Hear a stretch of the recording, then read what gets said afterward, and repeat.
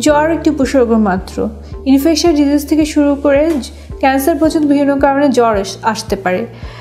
শরীরে কোনো ধরনের অ্যাবনর্মালিটি সৃষ্টি হলে সেটা কিন্তু আপনার জ্বরের আকারে প্রকাশ পায়।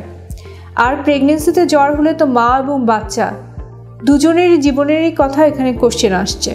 কাজেই জ্বর আসলে প্রেগনেন্সিতে কখনোই কিন্তু হেলাফেলা করা যাবে না, একটি গুরুত্ব সহকারে নিতে হবে এবং সেই অনুযায়ী একজন চিকিৎসকের পরামর্শ নিতে হবে। এখন আসেন ডেঙ্গু কীভাবে বুঝবেন?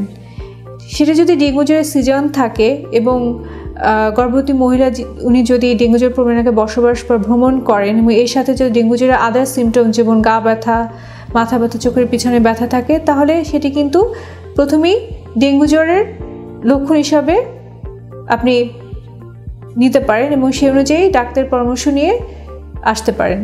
যদি ডাক্তার আপনাকে ডেঙ্গু কনফার্ম করেন, এই প্রেগনেন্ট মহিলা কিন্তু পেশেন্ট ক্যাটাগরি বিতে পড়বেন, যারা সরাসরি হসপিটালে ভর্তি হয়ে চিকিৎসা নেবেন।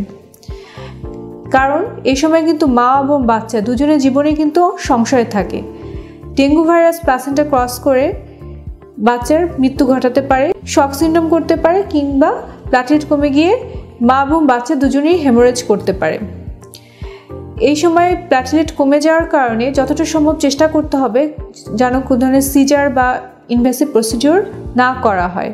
ডেলিভারি যদি অতি সন্নিকটে হয় কিংবা এই ভাইরাসের কারণে যদি মায়ের আগে থেকে পানি ভেঙে যায় কিংবা ডেলিভারি পেন আগে শুরু হয়ে যায়, তাহলে কিন্তু মা এবং বাচ্চা কাকে বাঁচাবেন সে ধরনের সিদ্ধান্ত নেওয়ার একটা কোশ্চেন আসতে পারে। এক্ষেত্রে ডাক্তারগণ অবশ্যই রোগীর আত্মীয় স্বজনের সাথে কথা বলবেন এবং তারা যে সিদ্ধান্ত নিতে চান সেই অনুযায়ী তাকে ট্রিটমেন্ট দিবেন। তবে চেষ্টা করতে হবে মায়ের জন্য একুট কন্ডিশনটা ভালো হয়ে গেলে তারপরে জন্য সিজার বা কোনো ধরনের ইনভেস্টিভ প্রসিডিওর যেতে হয় এবং প্ল্যাটলেট কাউন্ট যেন তখন অবশ্যই পঞ্চাশ হাজারের বেশি থাকে। আশা করি ভিডিওগুলো আপনার কাজে লাগবে। ধন্যবাদ।